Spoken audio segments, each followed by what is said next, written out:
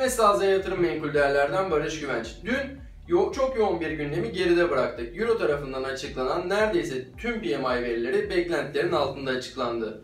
İngiltere tarafında da işler pek beklenildiği gibi gitmedi. İnşaat PMI verileri beklentinin altında kaldı.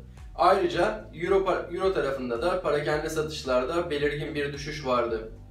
Avrupa Birliği tarafından Yunanistan'ın borç görüşmeleri Mayıs sonuna kadar tamamlanması gerektiğini istediklerini belirttiler.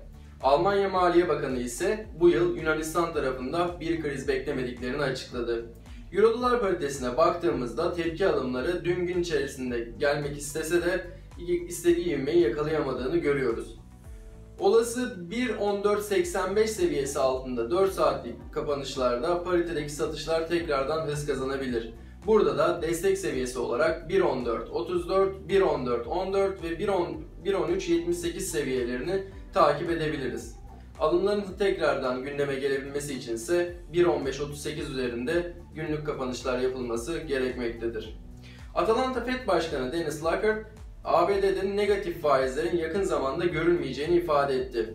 Avrupa ve Japonya'daki negatif faizlerin faydalı olup olmadığını görmek için şu an için erken olduğunu belirten Lagarde, e, İngiltere'nin Avrupa Birliği'nden çıkış referandumunu da, da Haziran toplantısının önemini arttırabileceğini belirtti. FED yetkilisi Brexit anlamında küresel belirsizliklerin e, küresel belirsizliklerdeki artışın kaynağı olduğunu söyledi. Altında da sert satışların devam ettiğini görüyoruz.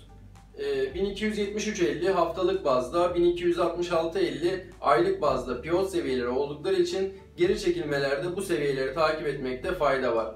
Tekrar alımların hızlanabilmesi için ise 1290 seviyesinin geçilmesi gerekmektedir.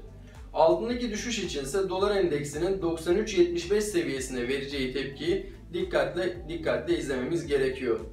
JP Morgan'dan gelen açıklamaya göre ise Türkiye Cumhuriyeti Merkez Bankası Mayıs ayında üst bandan 50 bas puan indirim yapmasını beklediğini açıkladı. Türkiye Cumhuriyeti reel efektif kur ise Nisan ayında artış gösterdi. Türkiye Cumhuriyeti Merkez Bankası yaptığı açıklamada yıllık enflasyondaki düşüşün halen sınırlı olduğunu belirtti. Bugünden de hatırlatmakta fayda var.